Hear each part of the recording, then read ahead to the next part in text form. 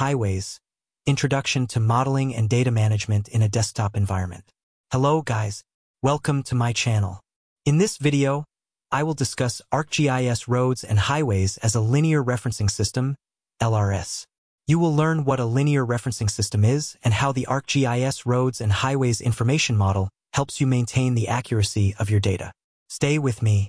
ArcGIS Roads and Highways is a linear referencing system, LRS, solution that enables transportation agencies to create and maintain a comprehensive view of their roadways by integrating data from multiple LRS networks. Basics of linear referencing. Linear referencing refers to storing geographic locations by using relative position along a measured, M-enabled, linear feature. A location is given in terms of a known linear feature, a route, and a position or measure along that route. When data is linearly referenced, multiple sets of attributes, known as events, provide more information about a route. These events can be associated with any portion of an existing route, independent of its beginning and end. You can visualize, query, edit, and analyze events without impacting the geometry, the centerline, or measures of the underlying route.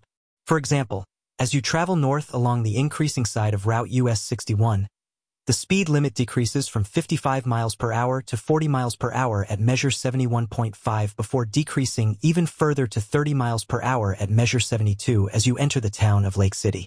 The speed limit begins to increase at measure 73.5 and again at measure 74.4 as you continue north out of town.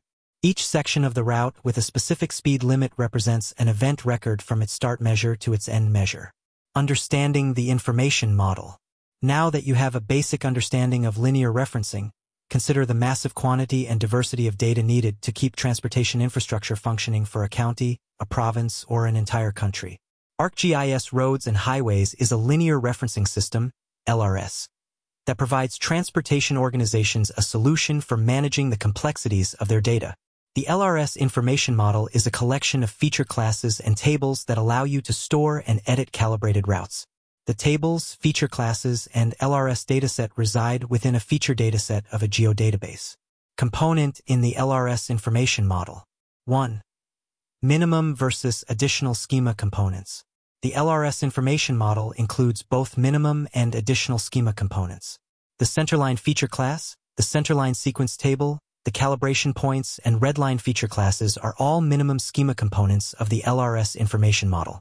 The additional schema components include the LRS network, events, and intersections feature classes. 2. Centerlines. The LRS information model supports the use of a single polyline feature class, called centerlines, to store the geometry of all the routes.